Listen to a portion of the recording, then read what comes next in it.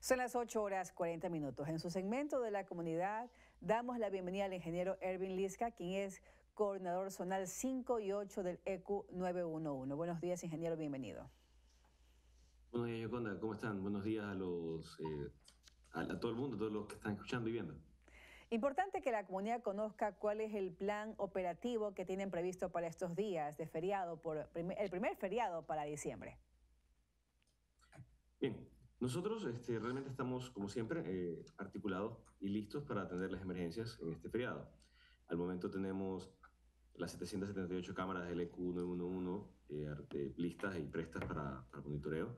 Tenemos lo, todo lo del EQ Guayaquil, toda su infraestructura, que son 1.437 cámaras. Eh, estamos hablando aquí en el perfil costero, tenemos dentro de estas cámaras, tenemos 25 cámaras en Guayas, 21 en Santa Elena, y lo importante es que también tenemos los 49 eh, puntos de alerta temprana, que estarán monitoreando cualquier actividad de, este, de índole de, no solamente de seguridad, sino también eh, cuestiones este, ambientales.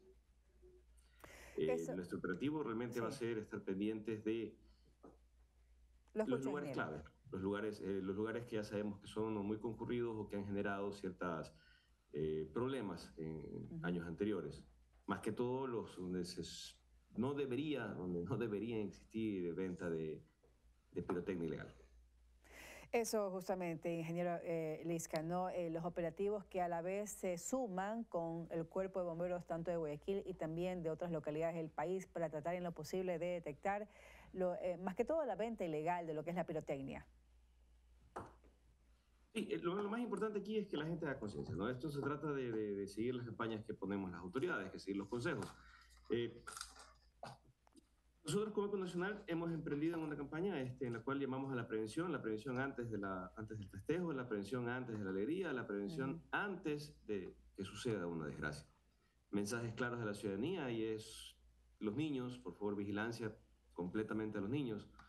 Eh, otras entidades también tienen campañas similares en las cuales nos han dado ejemplos de, de, de poder evitar que pasen desgracias tan, tan duras y tan pesadas como es la la pérdida de un miembro, la pérdida de una parte o las quemaduras de alto grado. Nosotros acá en el ECU también estamos en el contingente de poder eh, recibir las llamadas y van a ser tratadas con prioridad, con prioridad absoluta.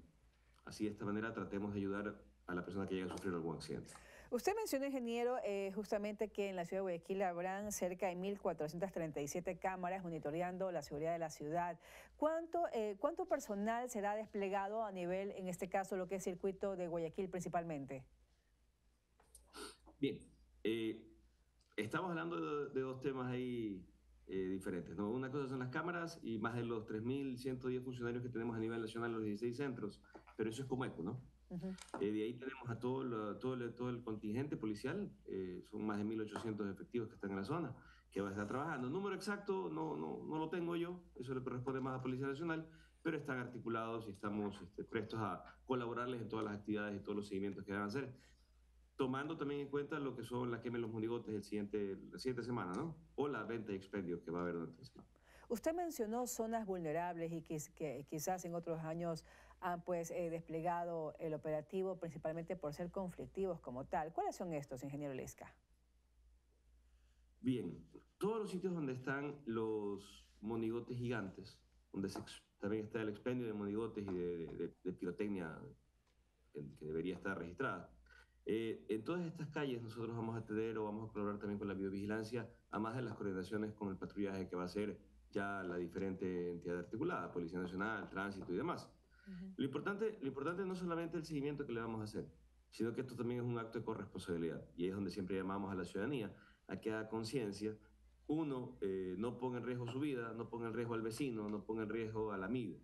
Porque lo más importante aquí es que llevemos la fiesta en paz. Y realmente en estas épocas que son de amor y felicidad, no lo oscurezcamos con, con accidentes que no, que no son meritorios, no, no son para, para continuarlos haciendo. Género, gracias por habernos acompañado en esta mañana. Gracias a ustedes, un gusto.